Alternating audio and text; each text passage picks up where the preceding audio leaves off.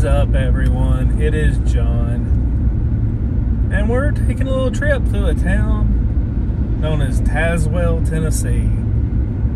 And it also is butted up against New Tazewell, which, I, if you're from here and you know the story better than me, please comment down below with details. But it was something to do with people in the town were arguing over something so they basically said, all right, we're going to call this part New Tazewell and you can just be Old Tazewell. So I, I found that kind of a fascinating little story. Um, don't know the details of it. I just have heard that all my life. There was kind of a disagreement amongst people in the town over something, and they just divided into New Tazewell and Old Tazewell. But uh, cool little town. Um, I used to come here as a child growing up when we first moved to Tennessee. This is the closest city we live to. We live way off in a rural area. But this is where we come to do our grocery shop and you know, pharmacy stuff. Anything you need to go to town for. This is where we went. So a lot of good memories here. Um, spent a lot of time here growing up uh, in my adult years. My parents actually had moved here for a few years, so I come up a lot then. But do I don't travel it a whole lot anymore. You'll see that um, I've done a one tank trip here before. Um, cool little town. I mean, definitely worth the stop in. Lots of cool restaurants, tons of little antique stores. Um, nice little old town part. But uh, we're just going to drive through the main drag today. It's a pretty quiet day. It's it's a Tuesday, and we're at about 3:30 in the afternoon, going on four o'clock, and it's town's pretty dead. It's in about an hour. It'll liven up. Everybody's getting off work and heading home, so there'll be a lot of people. The restaurants will be packed, um, so on and so forth. Uh, funny story at KFC right here directly across the street used to be the old KFC. And there was like this gravel area behind it. And we used to find arrowheads back there. Um, don't ask me how we looked for them there, but we did. And I think at one point, as me and one of my cousins was just, you know, we were there waiting on some chicken, probably. I don't know why we were there, but that's probably what we were there for.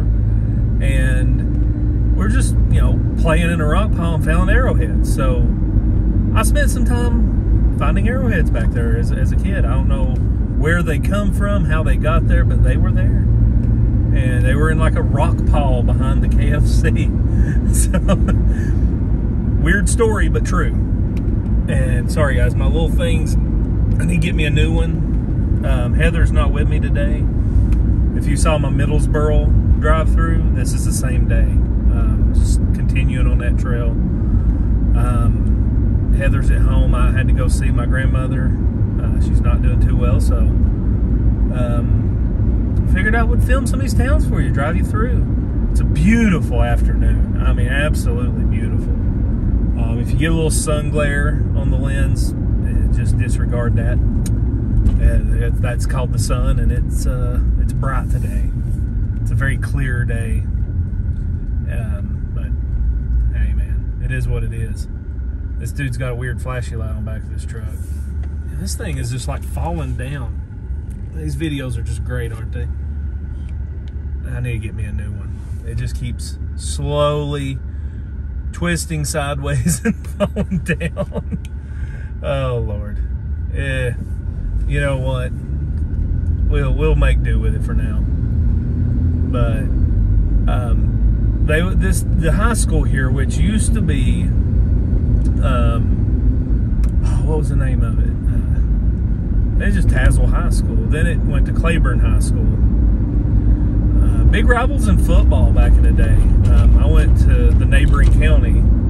I actually went to school there, but this was closer. So, but school zones and districts, I went to the next county over and well, it was an intense rivalry. Neither one of us was worth a darn. Both teams were terrible, but but that was our rival. You know, we always had a good game and it was competitive. So, um, it was fun. It was fun having somebody that was kind of on the same level that it made it a good game. We, I felt like my school growing up, we played kind of out of our league. Like we had the right amount of students, but it didn't feel like like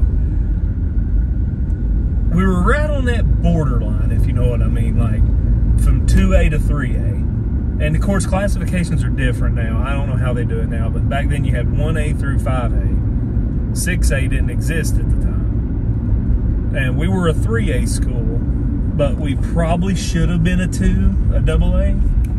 I feel like if we were in that, that's more, we could have been a lot more competitive against some of these teams. But like the teams in Knoxville and stuff that were 3A had a lot more students, a lot more athletes than we did. So I just felt like we played kind of out of our classification, but it just so happened the number of students was right there at us to be a 3A. So it was what it was. We played hard. Um, actually, my junior and senior year, we were more competitive. We won more games and uh, competed. We didn't get blown out by teams, if you know what I mean. Enough about football. A lot of y'all probably don't care about football.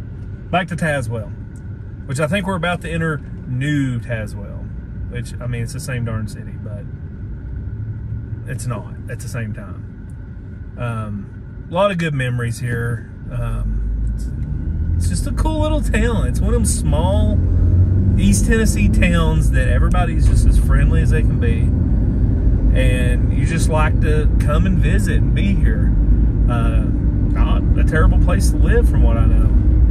Um, now I don't live here. I, I haven't been here in a long time, but it's still and look how peaceful and quiet it is. It's 3.30, 4 o'clock in the afternoon, and you're not dealing with a bunch of traffic. You're not dealing with crazy people everywhere. It's just, you know, country folk, essentially. Then the Walmart, that Walmart to the right, I don't know if you can see it well or not, is not a super Walmart. It's actually very small.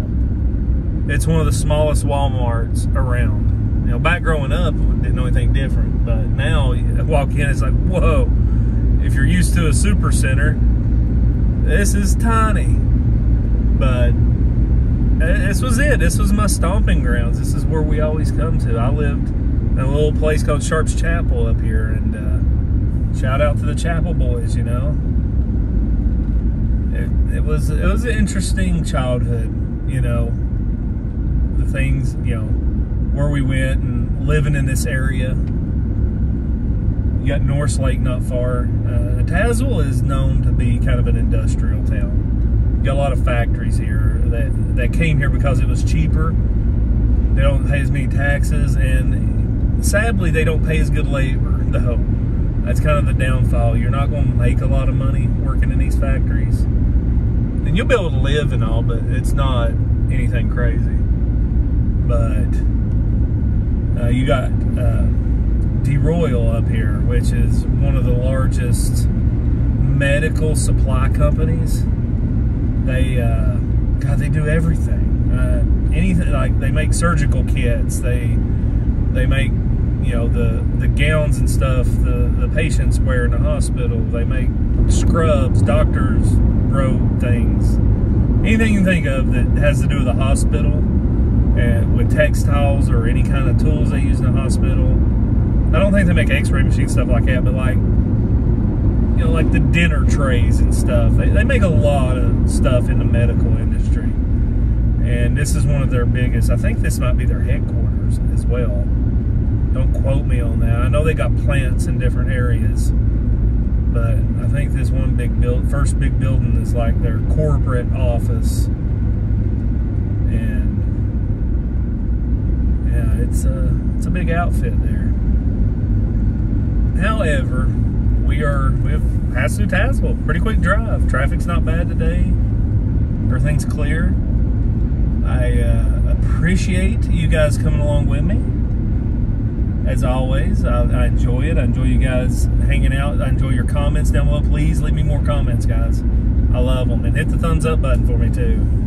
I really enjoy the engagement you guys give on this channel. It's a lot of fun. And I do appreciate each and every one of you. But for now, I'm going to sign off. I wish you guys a great day. and I'll see you on the next adventure.